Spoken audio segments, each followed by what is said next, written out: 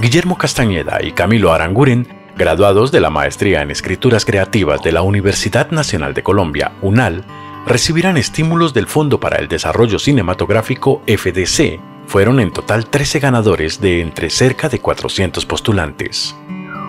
Diario del Olvido es el proyecto de Guillermo Castañeda, quien además de la maestría hizo su pregrado en el programa de cine y de filosofía de la UNAL.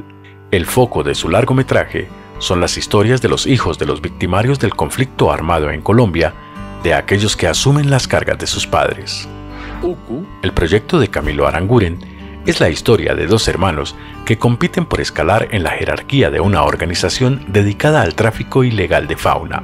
El FDC les entregará a Guillermo y a Camilo un estímulo económico y pondrá a su disposición tutores especializados para perfeccionar los guiones de sus proyectos audiovisuales. Somos conciencia, somos ingenio, somos creatividad. Somos Orgullo UNAL. Universidad Nacional de Colombia, proyecto cultural, científico y colectivo de nación.